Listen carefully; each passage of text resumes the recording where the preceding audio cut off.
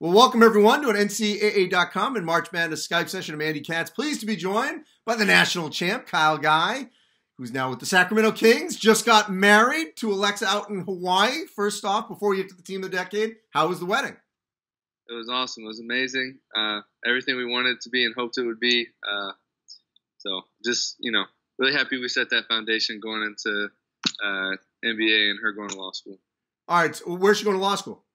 Notre Dame. Okay.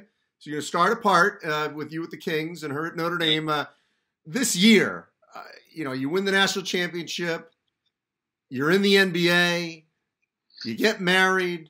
Uh, we're still not even into the fall yet. How would you describe what this year has been like?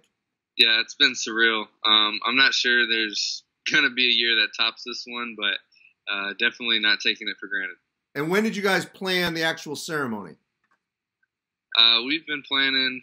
We did it on July 25th. We've been planning for uh, about a year and a half beforehand. So. All right, so well before the national championship run. Yeah, we, we planned accordingly that you know we, I would miss a little bit of summer school if I went back to school, or it'd be during right after summer league. So we planned accordingly.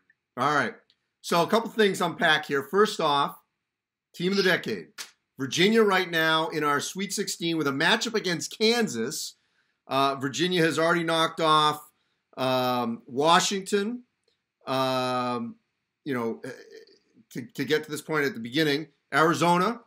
Um, this has been a good run by the fans, obviously voting, and this is quite a starting five.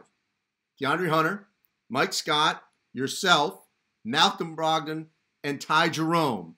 Uh, what now? Some people give me some flack on the the five that I selected for these teams. What do you think of that five?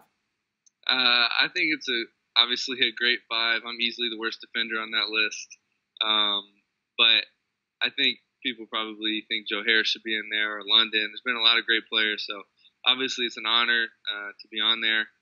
Uh, but you know, I think me, Ty, Dre, what we did was special. And Malcolm obviously was a no-brainer, and Mike Scott, what he did uh, with Coach Bennett for uh, one, two years that he was with them was unbelievable. Yeah, I know. I, I couldn't go wrong. I mean, I know I could have taken yeah. someone off and put you, like you said, Joe Harris on, uh, maybe London Perrantes, but um, you know, look, someone would have been unhappy possibly, but it's a good group. All right, so now in the fan voting, we have Virginia versus Kansas.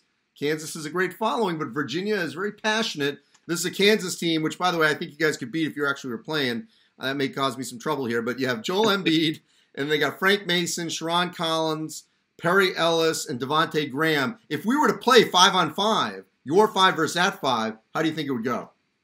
I think you know. I'm not going to say we're going to lose, so obviously I think we're going to win. Um, you know, our defense will always keep us in games, uh, and then the offensive firepower we actually have with the team of the decade uh, for Virginia, I think could uh, very well, you know, maybe boost us to another championship. All right. So what do we? What do Virginia fans need to do here to make sure that you guys continue to move on in our bracket? Keep doing what they're doing. Go on Instagram, go on Twitter, vote. Uh, you know who to vote for. All my Hoos fans. So, uh, yeah. All right. So when you look back at this championship run, I mean, it was unbelievable. Uh, you and I have talked many times, but the, the way you guys did it, the game in Louisville is one of the best games I've ever seen in my life and the way it happened in terms of beating Purdue, and then the two Final Four games against Auburn and Texas Tech. What, when you think back at that, what of that three game run here, what stands out the most? Uh, I I go back to the first game of the tournament where we kind of set the tone was against Gardner Webb. Yeah, being down again at halftime against the 16 seed, like you really got to do some reflecting and look at yourself in the mirror. Like we got to get this done. And we did that in the second half. You know, we kept our foot on the gas and really set the tone. And then I just think everyone really bought in and just did whatever it took to win. We tried to make minimal mistakes, and you know that you know really got us through those that three game stretch, which was not an easy task. And at every point, there was a chance where we very easily could have lost, and and we pulled through. So. All right, so Kyle, here you go. How did your life change after the UMBC loss and after winning a national championship? Um, I always say UMBC is the best thing that ever happened to me in my basketball career, just because of you know the fire it instilled in all of us and how we had to bounce back from that. We were literally on rock bottom, first team on the men's side to ever you know do something on the wrong side of history. So uh, to be able to bounce back from that is the ultimate, as I've been saying, redemption story, and it uh, was a very redeeming feeling. So, uh, you know, winning the national championship obviously was the greatest feeling I've ever had in basketball, but UMBC uh, helps us get there. And, and Kyle, uh, to have your name called, to, to be a part of the Sacramento Kings, this has been a long, you've worked your tail off, I mean, long process.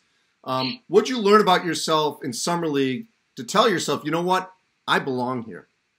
Yeah, I think uh, a lot of people have been like referencing uh, Fred VanVleet in the terms of like bet on yourself.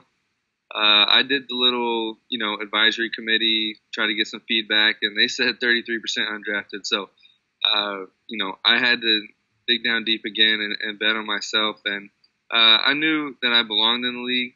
Um, it was just a matter of how I got there. So, um, you know, just very thankful and blessed to be in this position. Summer League was great. Um, you know, the coaches have a lot of confidence in me, and uh, I learned a lot and played with some great teammates, and it was a good experience. And before I let you go, Kyle, what's the one thing you're going to take with you into the NBA that Tony Bennett taught you? Um, I when Le, when Joe Harris was on the Cleveland Cavaliers, uh, LeBron said that he was light years ahead of everyone else in terms of defense. and obviously, it's a defensive school, so I'm definitely going to take that with me. Uh, just the fundamentals he teaches, just taking care of the ball, uh, shooting the same way every time. So I think it's the little things, and then just how genuine of a person he was. I'll always, you know, uh, be indebted to him forever. Well, Kyle, it's been a wonderful year.